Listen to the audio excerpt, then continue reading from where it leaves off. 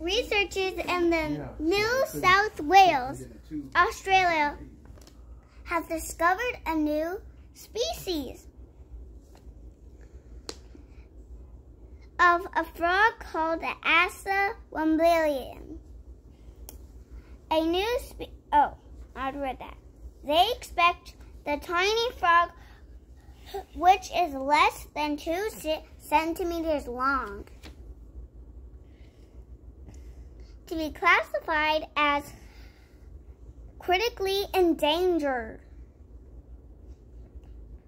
And its habitat will receive special protection after analyzing the frog the frog's DNA, the chemical that carries all the information, characteristics, the researchers identified it as a different, no, as a distinct species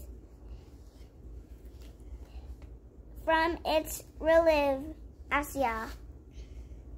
You want to re read that word for her, Sash? Maya? As Assa.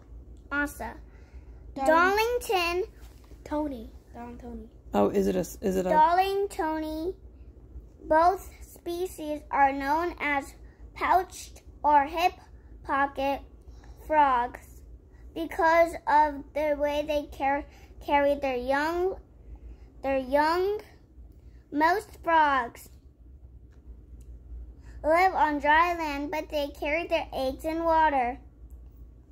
The male hip pocket species carries its young on its body for two to three months.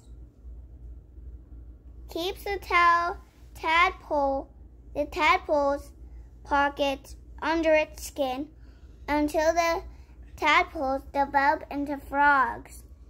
Wow one, one of the researcher, researchers, Michael Ma Manthony Mahony. Mahony, the hip pocket frog is a technique among. Unique.